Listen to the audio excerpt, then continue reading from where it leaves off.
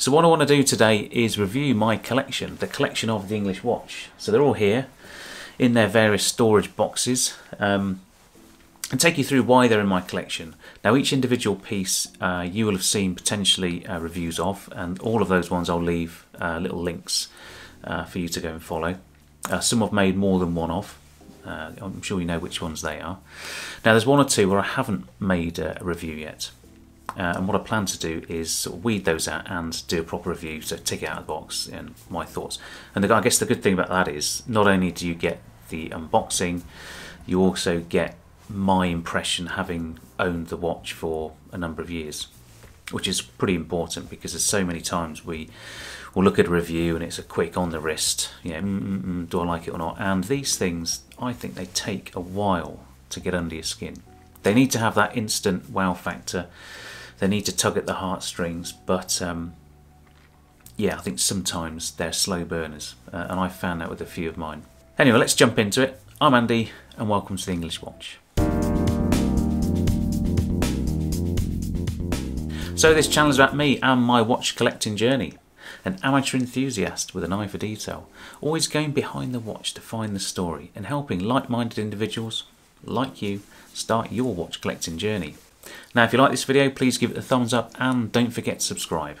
Please leave any comments at the end, I'll be really interested to understand what your thoughts are on my collection and where your advice would be uh, going forwards. So what we're going to do is we're going to run through my collection, give you a little bit of an understanding of why they exist in my collection and give you a little bit of a, a feeling of where my head's at in terms of um, whether I like them or not at the moment. And then give you a good impression of where the trajectory is going and what the next potential watch or watches could be. So maybe a short and medium term view of life, and then whether any of these ones are at risk of being traded in. So the first watch is the watch I'm wearing, and it's my Apple Watch. So this is the Series 4. Uh, I've had it, I don't know, three or four years, however long the, the 4's been out. Uh, it's 44 millimeter it's the Nike version. It comes on this sort of silicon rubbery strap, which is quite nice. Um, I tend to wear it for cycling, going to the gym, washing the car, decorating, which I don't do very often. Um, and when I'm working at my desk, so I don't bash the uh, the claspable bracelet up on the keyboard. So I don't wear this every day. Uh, it, it, it, does my head in the fact that it tells me to stand up, tells me to breathe. Um, my phone will ring and then it won't make a noise, but this will start buzzing on my wrists. I can't cope with that. So this has very specific uses. Uh, call it a beater watch or whatever. Um, but I've really yeah, beaten it to death, uh, and it's it stood the test of time. So I've got a lot of time for the Apple Watch, but not as an everyday for me. Okay, let's put that one down. Well, the next one is one of my early watches from the channel, not necessarily in the collection, and this is a Swatch watch. Now, hopefully you'll, you'll have looked back in my catalogue and seen me uh, right at the start of lockdown dressing up, doing a bit of role play uh, as James Bond, because uh, this is the Swatch Q watch. Now, Swatch and Omega tried launching watches when No Time to Die, the most recent James Bond film, was going to be um, launched back in, I think it was April 2020. So to commemorate that, they had a whole James Bond range that were out at the time, but they launched some uh, special ones for the movie as well. Obviously, the Diver 300, which is yeah, like seven grand or so. But then there was this one here, which was the Q watch, and this is the watch that um, Q, played by Ben Whishaw, wore in the movie. Yeah, who we finally got to see um, a few months ago. Now, this one, I'll take it out of the box, is still for sale um, but it's just kind of a Mark II. So the one I have is the original, which has the red accents on the dial. The new one has blue hands and blue accenting to the oscillator, I think. And it also doesn't have this pale tan strap either. It has the, the red edging, uh, but I think the red extends around the back. So this is the original. I've not worn it since I did the review. Um, when was that? would have been like April 2020. Yeah, wow, that was a long time ago. And yeah, one of the early videos from the channel. So I'll keep it in the box. Uh, it's one of those things that Um, it's, it's, never going to make me a millionaire, is it? But um, it's a bit of collectible nonsense that, yeah, why wouldn't you? I'll probably take the battery out to stop it going nasty, but yeah, Swatch watch. In fact, let's put that one on the desk. Put the box down here out of the way. Right, so the next one is in my Wolf Winder. So I did a review on the Wolf Winder last summer. It's been pretty good. I tend to keep a watch in there. Um, yeah, if I want to just grab one on the go. So we'll just just get rid of Concorde. Um, and this mug, which a few people have asked about merchandise, and it's not something I've really considered that much because you have to buy so many of the things, and I don't want to end up with a garage full of mugs um, for one or two people. So maybe one day. Uh, there are other avenues that I can explore, but um, yeah, let's get that out of the way. Now, the watches that I store in the top of here are, let's call them budget, uh, other novelties similar to the Swatch, but ones that I may one day wear. So this winder has oh, a little bit of a lid. And the first one in here it holds three watches. It's pretty good. So check out the review. I'll leave little links to the reviews um, as we go through. So this one is is the Jaguar watch. This is the watch that um, my old company clues in the name, uh, gave me when I left after 20 years service um, earlier in the year. Now I've never worn it. Um, it's a massive old thing. It's a quartz watch. Um, yeah, they do lots of boutique editions. Uh, yeah, other car brands do them as well. It's not too bad. Yeah, it's not terrible, is it? But it's it's a real weapon. I've just not felt the um, I'll put it on my wrist now, and actually, it's not too bad. This strap is quite comfortable.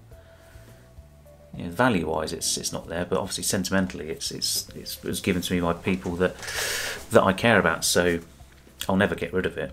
But actually, it's not too bad. It's big, but maybe I'll give it a bash. Maybe I'll wear it to work. Let's see. I do like leather straps at the moment. I tend to take my uh, metal bracelets off and put them on leathers, so this one has come on a leather, and the strap is quite nice. It's quite soft. Um, hmm, interesting. Anyway, Jaguar watch. Right, the next one is a recent one. This is the Seagull 1963 Pilot Chronograph.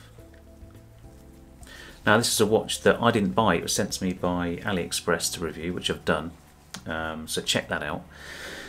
And I've been timing this one for a week. I've not been wearing it, but every every morning I wind it up, and I'll I'll use the watch um, tracker uh, to to check the time, and it's plus or minus two seconds a day. So, is this a fake 1963?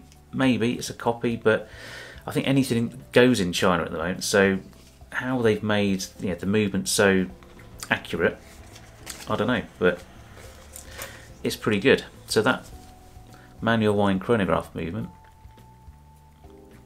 pretty special, yeah, accuracy wise. So don't know how long that will last. We'll keep keep trying it, but it's an interesting one to what to wear.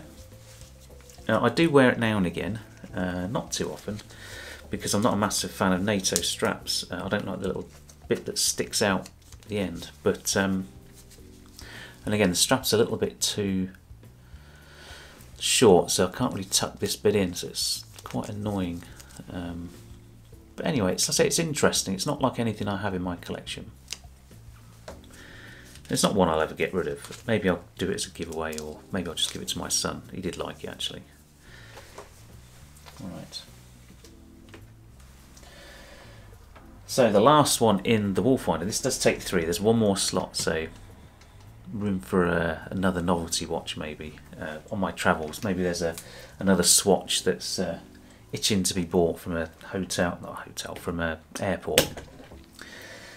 Right, so this one here, which is on the uh, the squashy cushion that that sits in the winder.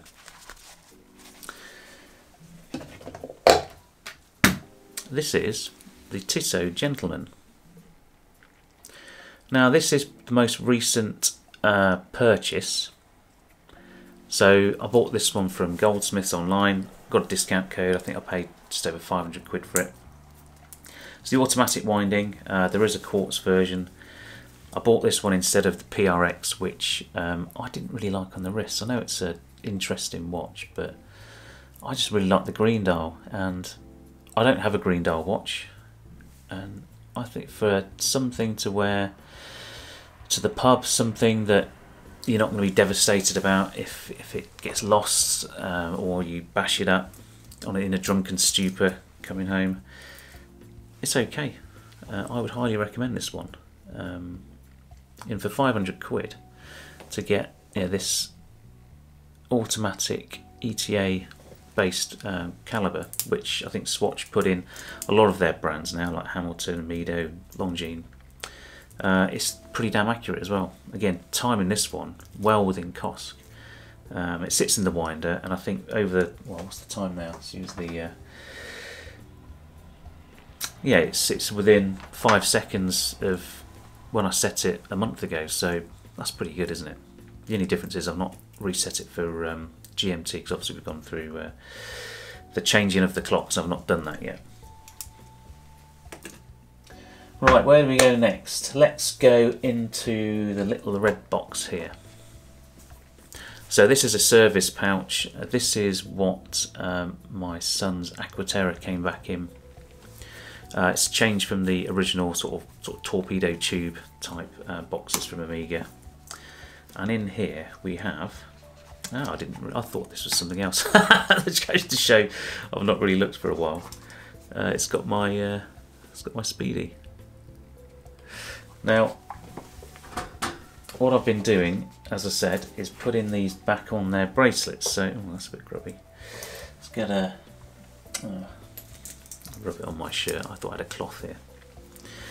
So this is my uh, Speedmaster Professional. I bought this one in 2018 uh, after a trip to sunny Florida. We went to Cape Canaveral, and that kind of fired the child in me, if you like. Um, I've been a space nut for yeah, since I was a kid, but the whole watch scene was was quite alien to me. I was more about the the spacecraft, the astronauts, the, you know, the whole you know, experience about it, not necessarily about the you know, this little thing on his wrist. And maybe um, I knew sub, subliminally, but it wasn't until I was in my um, local goldsmiths when I was having my old Seamaster service. The guy used to take me over to the counter all the time and show me you know, the watches they had, and we'd talk about the, the Speedmaster and the letters from the archives that, that he said that they, they had. Uh, and I always found that interesting. And know, when the time came, sure enough, a Speedmaster was definitely on the uh, on the list. Now I tend to wear this one on um, a leather strap. The bracelet I have to wear it a little bit loose because there has because there's no uh, on the fly adjustment and this is the more modern uh, sort of non-tapering bracelet which they changed um, I guess around 2013 I'm going to say when they did the 50th anniversary uh, with the big box uh, I may be wrong on that, but um, yeah, the, the, the, when this one changed in 1997 with the 1863 movement, it had a tapering bracelet with a uh, friction clasp. Uh, but this one, this chunkier version, came in in the 2000s. Now it's gone back now, obviously, to the more tapered, daintier bracelet, and I have thought, yeah, should I trade this one in? But nah, I don't wear it on the bracelet normally, so why would I? Um, and besides, this one's got this one does have sentimental value. I think a Speedmaster can sit quite nicely in anyone's collection because value wise, I mean, I paid what just under three thousand pounds for this one. Uh, got a pretty good discount. I mean, those discounts aren't there anymore, but for the Hesalite version, which is around five grand, um, you could buy that, or you could still pick one of these up for for around four, I think. Um, so there's no real wrong answer because you know, the legacy is so enduring and this you know, you can pay a lot for the special editions, but I think the the best one is the original. You know, the Hesalite. It's the most honest one. If you've got the money, by all means, go for the special editions. But I think the best value is obviously it, the Hesalite version because of its uh, authenticity. Right, we're now into the um, last strokes, and in here, this is the Mirage watch roll, which again I've done a review on, so go check that one out. And this watch roll, I think, is is a really good uh, Christmas present. So it's that time of year for for under hundred quid. Yeah, this thing is pretty smoking in terms of the quality of the finish, uh, how it feels. It's really supple over time. It's sort of loosened up. It's got nice poppers, and let's have a quick look inside and choose which one we're going to go for. Look, there's my cloth. Could have done with that a minute ago. So what we have in here are three sport stunners, as uh, Archie would say. And what we're going to do is start with the Tudor Black Bay. So these cushions, they have these little little runners on them, so yeah, the watches don't move around in the uh, in the box. Uh, so that's pretty good, and a nice soft, soft little suede cushions as well. Right, so this is the Tudor GMT, which I bought new in 2019. Uh, this was for the original retail price, which I think was about 2,850. So launched in 2018 at Baselworld, along with the uh, revised uh, steel Rolex Pepsi GMT. So this one I've probably talked about quite a bit in terms of love hate love hate. Uh, I've been wearing it on the bracelet recently and it's been okay.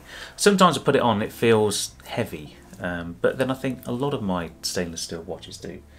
Putting the Speedy on just there, it just felt a little bit weighty, and I think that's because I've been wearing them on leather so much. So as I said, sometimes you just got to sort of re-baseline your your your feelings and um, just give it another go.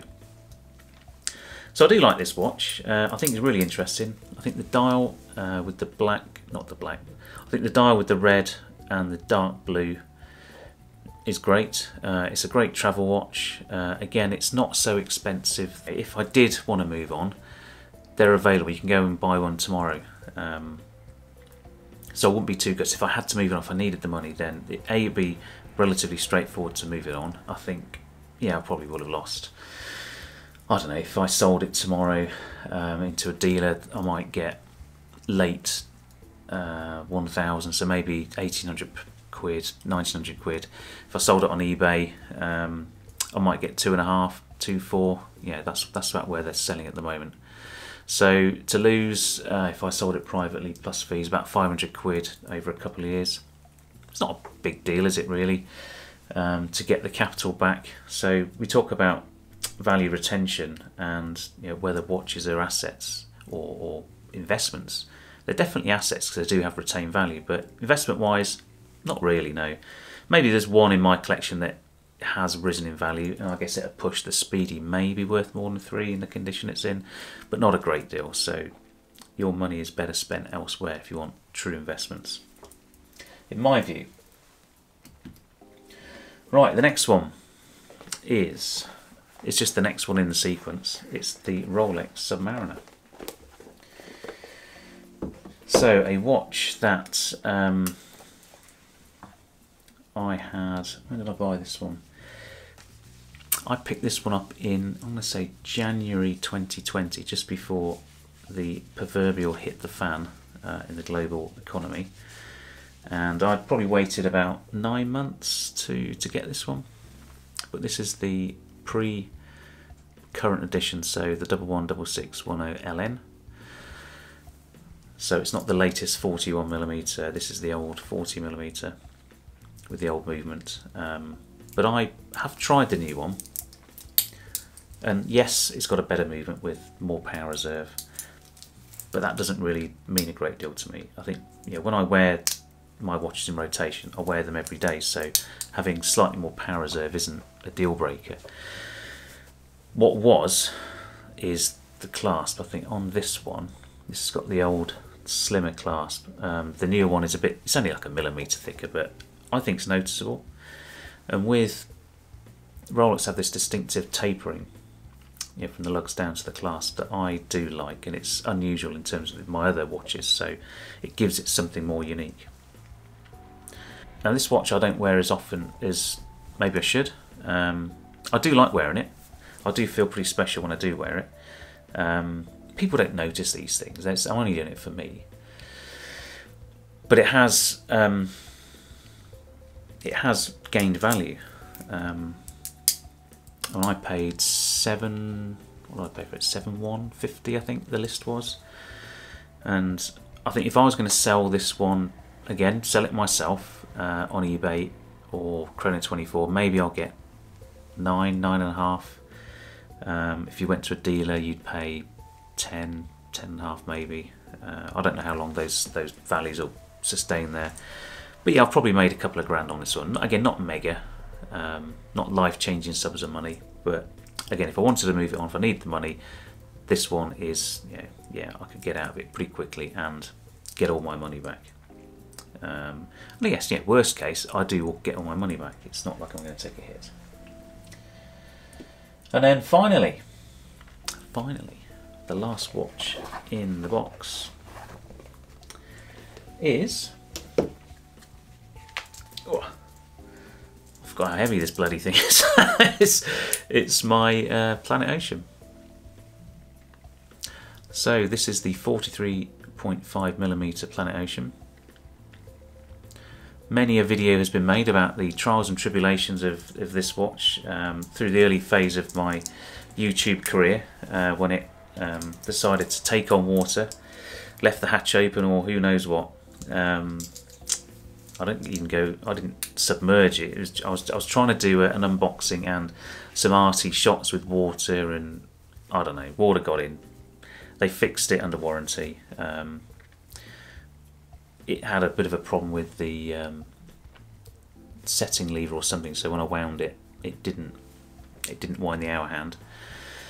But otherwise, since it came back uh, in, I'm going to say July last year, so July 2020, so that's well over a year, this hasn't missed a beat. I've wore, I wore all through last summer, this summer, on the rubber strap, which I have here. This is my genuine Omega rubber strap that I tend to wear on.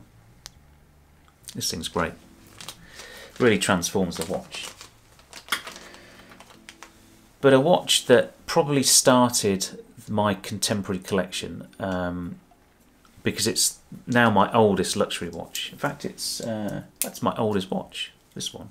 So I bought this one in May 2018. And once I'd had this one and then bought the Speedmaster, my Seamaster 120 didn't stand a chance. So that one went. Um, I thought I've had it for I don't know, 18 years. I think I sold it last year, 18 months ago. Had my wear out of it.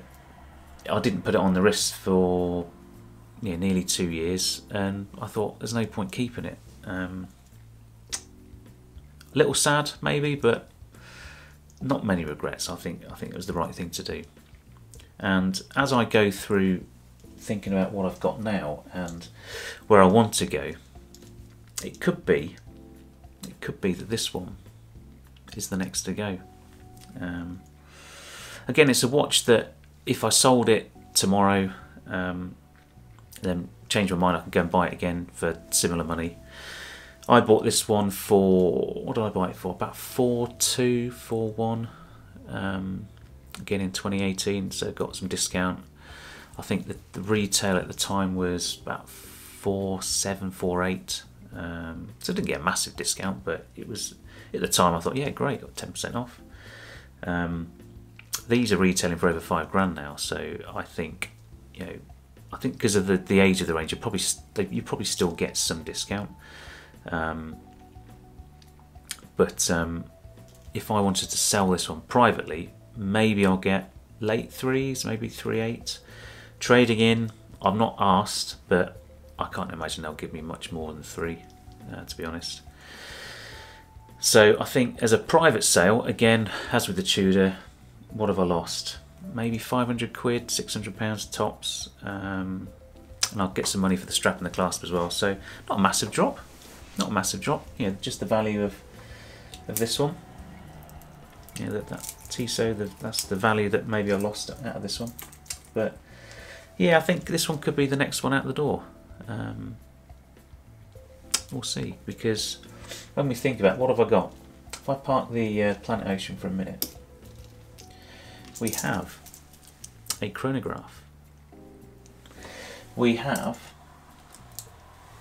a dive watch. We have a GMT. So we've got three of the staples covered with those. I've got some other stuff here as well. I've got, yeah, call it a, a date um, dress, half dress sports watch. Yeah, non-functioning. Yeah, it's not a diver. It's not a chronograph. Um, it's not a GMT. It's, it's a regular three-hander. Call it that. But what don't I have? What I don't have is, other than the Speedy, I don't have a three-hand no-date watch. I don't have a pilot's watch per se. The GMT you could argue is. So maybe my thoughts at the moment are um, I like the Black Bay ceramic. Again, three hander, no date. Um, that one's about three and a half grand, not bad. I like the new Seamaster 300, so the Heritage line, um, the one with the lollipop uh, seconds hand. But I do like that bronze gold, although it's quite expensive. And I do like the IWC Big Pilot, the 43. I've tried that one a few times. I like it a lot. Again, it's a three hand no date, blue dial, so light for light, blue dial in, blue dial out. But that one is about seven or so, isn't it? With the on the bracelet, I'll buy it on the bracelet and then get them to throw a strap in. So that one for me, if I wind back six weeks, that's definitely going to be my next watch. But then, I think I need a dress watch. I'm at that point in my life where I think I could rock a dress watch quite nicely. And although I had one in the 120, the Seamaster 120, I think something like a JLC Master Ultra Thin Moon Phase, again, which I've talked about before. I did look look at the calendar, the Master calendar, and I like it, but I don't think that's where my heart is at the moment. I kind of like the rose gold ultra thin moon phase, which is very expensive. I think it's about 17 grand. I can't afford that. So what I want to do is just keep saving. See if my crypto goes up any. You know, there's not a lot in there, but we'll give it a go. Um, I think the values of these will steady um, I'm not going to. They're not going to drop much more. I think they've lost their value now. So I've got plenty of time to worry about the next one. I've got loads of nice watches to wear, which is quite lucky. So I'm holding steady. So the trajectory is definitely there, and the desire is there. Uh, I'm really enjoying learning, really enjoying trying out the watches, going kicking tyres, uh, getting under the skin. Um, it's difficult to get rid of them though, isn't it? Anyway, let me know your thoughts. Let me know your thoughts about my collection. Look out for a full review and unboxing of the Planet Ocean, which has been long, long overdue. Um, and, yeah, nearly four years on the wrist. Yeah. Yeah. Anyway, I'm Andy. This has been the English Watch. Take care, and I'll see you soon. Bye for now.